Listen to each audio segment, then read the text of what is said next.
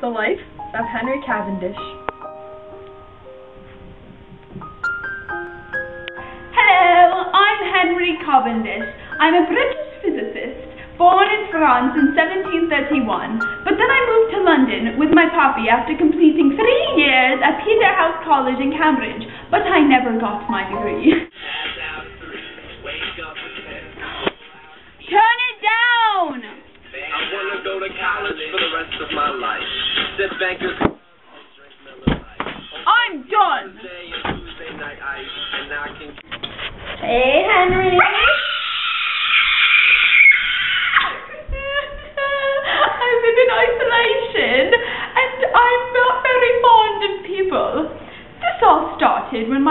when I was almost two years of age.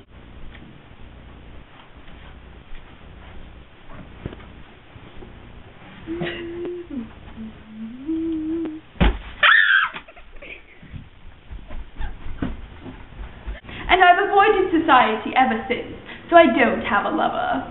As I grew older, my father wanted me to get involved in politics, but I rather chose the scientific path. I started attending the Council of the Royal Society of London, and I began helping assess the Society's meteorological instruments. I became very involved in the search for the North Pole and the Northwest Passage by joining a committee for Constantine Phipps' expedition in 1773. Years after that, I began thinking about the gravitational attraction of all objects. Then a tragedy happened. My poppy passed away. because he was killed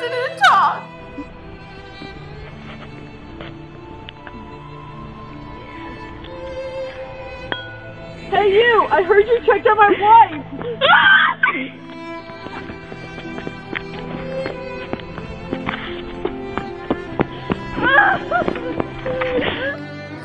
His death inspired me to continue following my dreams. I started experimenting with my gravitational fascination, and I performed many experiments. My most famous experiment was performed in 1798 and is known as the Cavendish experiment. I will now demonstrate this experiment. For this recording, the process has been sped up because this experiment would normally take hours. To do this experiment, I took two objects of equal mass and set them on the surface of a board that has been suspended to become frictionless. Then I placed two objects of larger mass next to it on equal sides and equal distances from the board. Before placing the objects in their set spots, I measured the force, masses, and distance. I realized that by putting the objects in their assigned places, the board slowly moved back and forth due to the forces between the masses. After the experiment was complete, I, I calculated the gravitational constant. I came up with the equation to find gravitational force. It is the gravitational constant times mass 1 times mass 2 divided by distance squared. The gravitational constant is the one that I found in my experiment, known as the Cavendish experiment. So Isaac Newton took my gravitational constant and applied it to create a formula to figure out the gravitational force between any two objects that I mentioned before. Now I will show you how to get the gravitational constant from his formula. So, what we have here is a gravitational force of 8.01 times 10 to the negative 10th newtons. Our mass 1 is 8 kilograms, our mass 2 is 6 kilograms, and our distance is 2 meters. We want to find the gravitational constant. So here's our formula that I mentioned, and now we're going to plug in our numbers.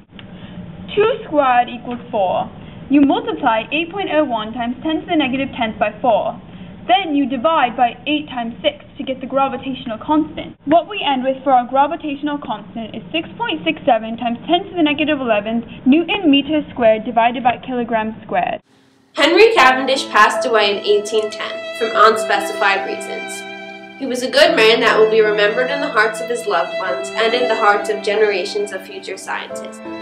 He helped expand scientific knowledge and added vital information to the lives of many. Rest in peace, Henry Cavendish.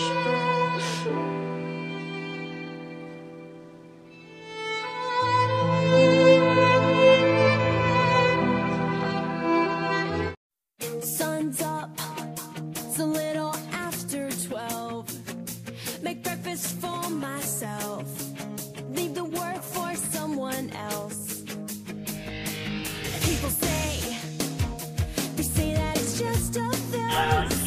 Turn it down!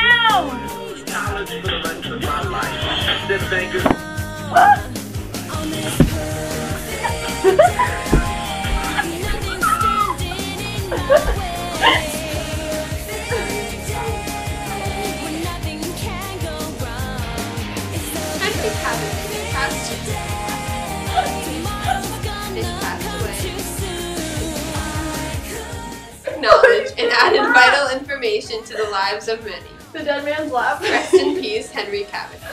Okay, Laura's laughing during her funeral. You can't laugh. Let's go, let's go. Alright. Oops, upside down. Okay. Rest in peace, Henry Cavendish.